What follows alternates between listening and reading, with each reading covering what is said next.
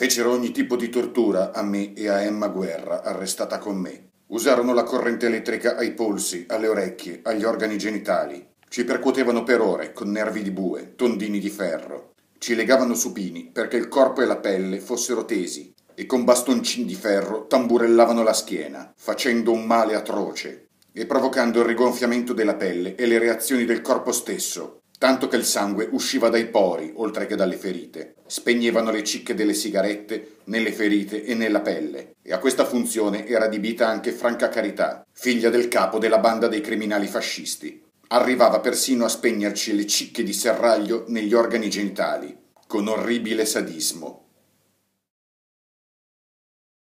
Appena entrato dal comandante, vidi l'apparato che dava i brividi. Tutti gli ufficiali erano attorno al tavolo di carità ai lati dello stanzone erano disposti gli scherani. Su un tavolo faceva mostra la triste macchinetta. Mentre uno mi applicava i fili elettrici, gli altri mi schernivano dicendo Vedi che bella testa tonda da parroco! E giù pugni. Entrò anche il più sanguinario, lo Squilloni, che senza pronunciare sillaba mi assestò due sonori schiaffi. Io non potevo parlare, perché sussultavo sotto le scosse elettriche. In quel momento e non potrò perdonare questo supremo atto di vigliaccheria. L'ex prete Gastaldelli disse ironicamente ai suoi degni compagni Ora gli facciamo dire anche il nome del tipografo. E mi fece applicare i fili elettrici agli orecchi. Dio solo può perdonare tale raffinata forma di martirio a chi l'ha fatta provare ai poveri sofferenti di Palazzo Giusti. Caddi dalla sedia a lungo disteso e cominciai a urlare. Man mano che la corrente aumentava di intensità, Avevo l'impressione che al posto della testa avevo una fonte luminosa, sprizzante scintille. E come gli urli diventarono belluini, Carità ordinò che mi si tappasse la bocca, il che fu fatto. Ma l'ex prete non fu appagato. Il nome del tipografo non fu pronunciato sotto il martirio, come non era stato pronunciato la notte tra il 30 e il 31 dicembre, dopo sei ore, dico sei, di interrogatorio.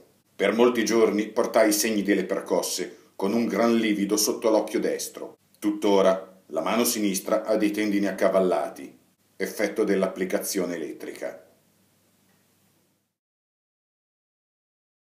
La sera del 27 novembre 1944, rientrando in bicicletta da una missione partigiana a Verona, la mia casa era già stata occupata dai fascisti della banda Carità. Mi portarono al comando delle SS tedesche, dove mi interrogò lo stesso Carità, Voleva sapere i nomi dei partigiani e dove si trovavano.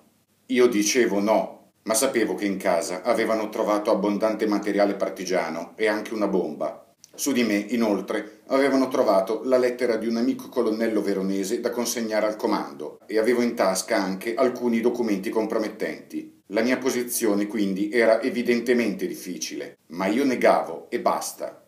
Allora il capitano fascista Antonio Coradeschi mi diede venti frustate ed io, ben presto, perdetti la sottoveste, che era l'unico indumento che avevo addosso. Lo stesso Carità mi diede dieci frustate, dicendo che le sue valevano il doppio di quelle degli altri.